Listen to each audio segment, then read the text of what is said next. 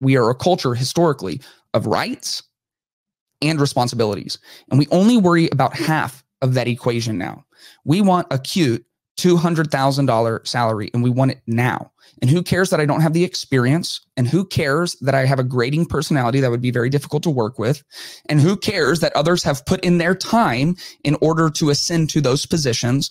And who care who cares about any of it? I'm here and I want it, so give it to me.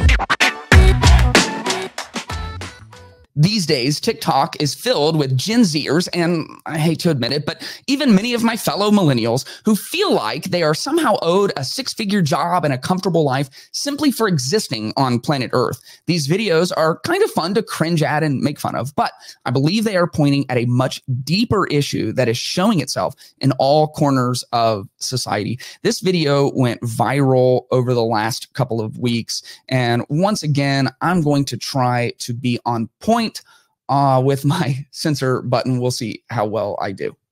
I have a bone to pick with America. So I'm headed to my serving job.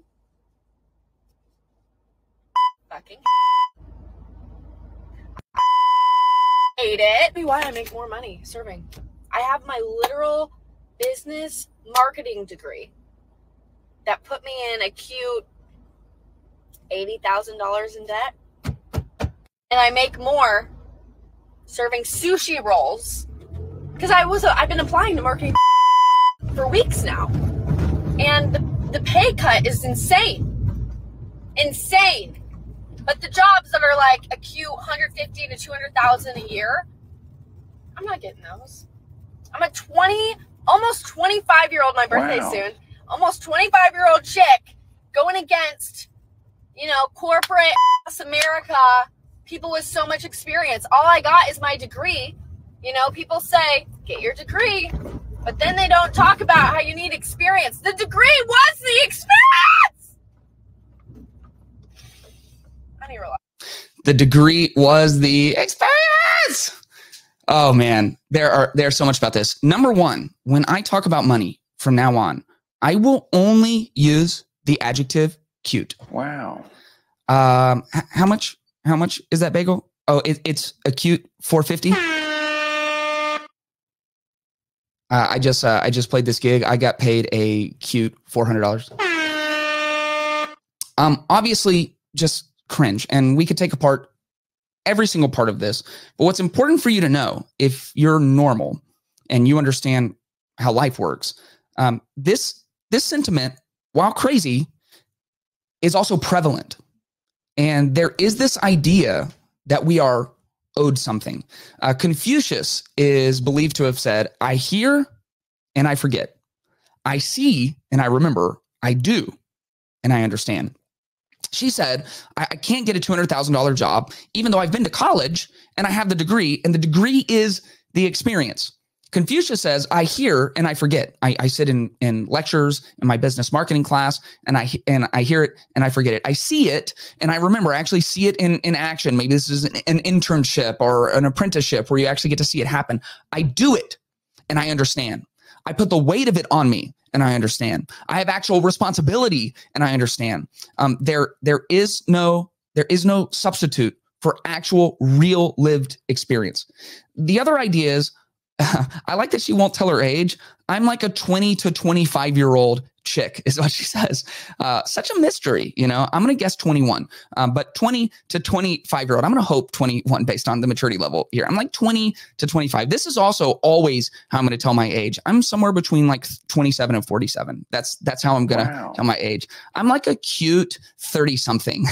uh, I hear and forget. I see and I remember. I do and I understand. Proverbs 19 says, Desire without knowledge is not good. And whoever makes haste with his feet misses his way. Experience does actually matter. And this gets to the deeper root of why so much of Gen Z and younger millennials feel like, look, I did my four years in college. Someone hand me $200,000 a year. Um, you know, I, I'm here, I exist. S- somebody hand me a comfortable life. Um, it's because we no longer view society like the thing we live in. We no longer view society as something that we belong to and have responsibility toward. We now see society as something that is meant solely to serve us. And that is new in the scope of human history. There is a, a great sociologist who broke down human history into these different categories. There was like primitive man who basically just worried about survival. Um, out of that, there was uh, religious man who saw themselves, this is about your view of yourself, saw themselves as belonging to their larger spiritual community and having responsibility towards them. Then the Industrial Revolution brought us industrial man, which saw yourself with a responsibility to your community, to the broader world with the product or services that you were offering, and to your family and your friends as a contributing member of society. And now we have moved into the category of psychological man. And this is a change within all of human history. Uh, primitive man and religious man and industrial man, they all viewed their identity from the outside in. I belong to a society. I have responsibilities to a community, and that informs who I am and my identity. Psychological man sees themselves from the inside out. And now, society and the community around us, our family, friends, our cities, states, and countries, it's not something we have a responsibility towards. It's not something we carry weight for. Now we think from the inside out. Society is something that's supposed to be pointed at me and focused on me and serving me and me only in Ecclesiastes, uh, Solomon shares th- this insightful, sometimes depressing wisdom. In Ecclesiastes 9:11, he says, "I've seen something else under the sun. The race is not to the swift. The battle is not to the strong, nor does food come to the wise, or wealth to the brilliant, or favor to the learned. But time and chance happen to them all. You can be the best, the brightest, the most degrees, the most brilliant, the most influential, and things still might not go your way. There is time and there is chance and there is circumstance. There is need for patience. And ultimately, the idea that we have responsibility to others is rooted in our responsibility toward God. However, we've replaced worship of God with worship, of the self, which means we've replaced responsibility towards God with others being responsible to us. We are a culture historically of rights and responsibilities. And we only worry about half of that equation now. We want a cute $200,000 salary and we want it now. And who cares that I don't have the experience? And who cares that I have a grading personality that would be very difficult to work with? And who cares that others have put in their time in order to ascend to those positions? And who care who cares about any of it? I'm here and I want it, so give it to me. I'm psychological man. I view my identity entirely by what's inside of me. I don't worry about my place in society. I don't worry about the community around me. And I don't worry about my responsibility to others. The call to come and to follow after Jesus is a call to deny yourself. And I think obviously that's mattered for 2,000 years. Jesus gave that command 2,000 years ago. It matters maybe more than ever today because for primitive man and religious man, and industrial man as these categories of self identity, we had to deny ourselves but we already saw ourselves as responsible to others. For psychological man, we are only ourselves. We are each man an island, completely forming our identity psychologically from within ourselves. To deny ourselves is one of the greatest calls because we believe that we have our own truth and our own identity and our own reality and our own morality. We can just come up with all these things whole cloth. And Jesus says, You must deny yourself. You got to get out of your own head.